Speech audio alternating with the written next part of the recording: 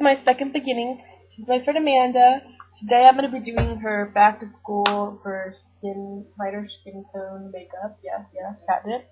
Um, she already has foundation on, so I'm just going to be putting NYC Smooth Skin Press Face Powder on. It's a translucent color because I don't trust their actual foundation with color on it because it doesn't really work very well. This is just a really easy way to blot oil and make her face not shiny. For her blush, I'm going to be applying Gentle, which is a mineralized MAC blush. It's really pretty light peachy pink color. I'm going to blot it off and then just do it on the cheekbones up to the sides of her eyeball.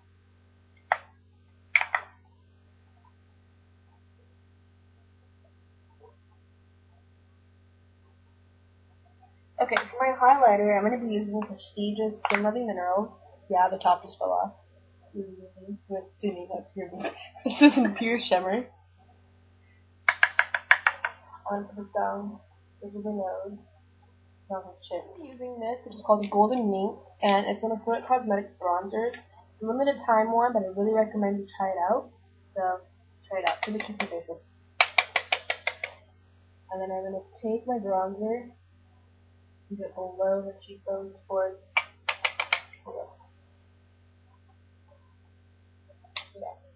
I'm going to be using MAC Lollipop Love, and this is one of everyone's like favorites.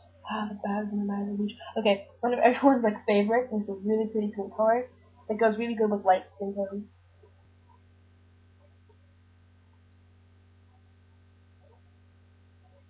Doesn't get back on. Oh, Okay, so that looks like rubber lips together, isn't? Now I'm going to be applying Lip Licious, Lip Licious Frozen Daiquiri. This is also really natural color, which is good. Uh, this will just make it a little more shiny and give it some good taste and give it more gloss and feel good.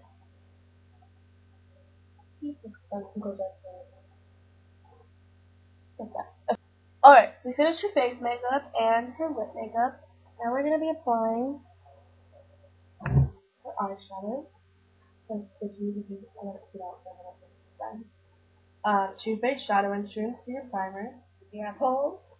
Okay, now we're going to be taking one of Lost-Amaze eyeshadow. This is a really pretty color, like on my skin tone, number 36. the Sparkle Dust. Welcome back to the fairies out there. Alright, now we're going to take just a regular large eyeshadow brush, and this is going to be her all over eyelid color. If you have fallout a lot of the time, I recommend doing your face makeup after you do your eye makeup. I've never done, like, well, I don't see people's makeup very much, so that's why the camera angles might be bad and blah blah blah. But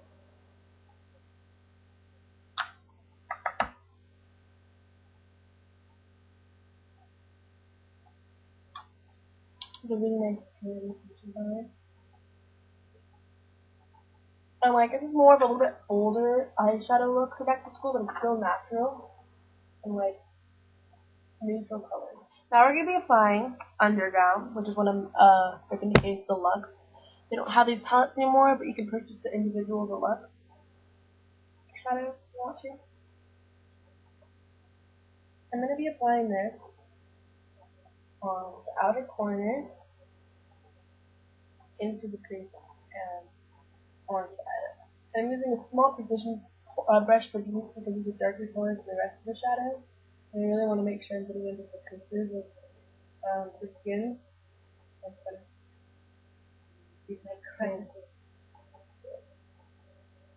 And then, same thing. Okay, now I'm going to do the last darker color.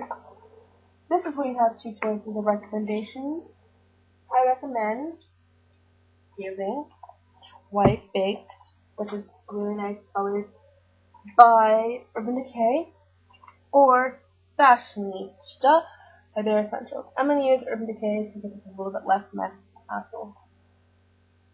The same brush, just into the crease.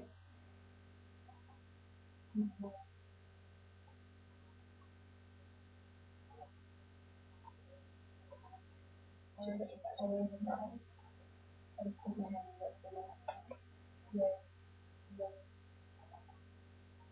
eye the other.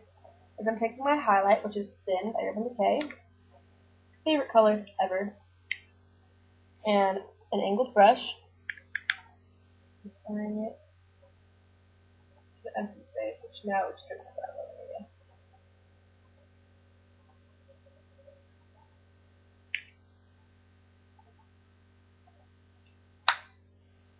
Then the Kaushik Alcorn blending brush or crease brush, whatever. Just kind of blend out. It's going to turn out. Now for a little definition, Urban Decay's liquid liner, Roach.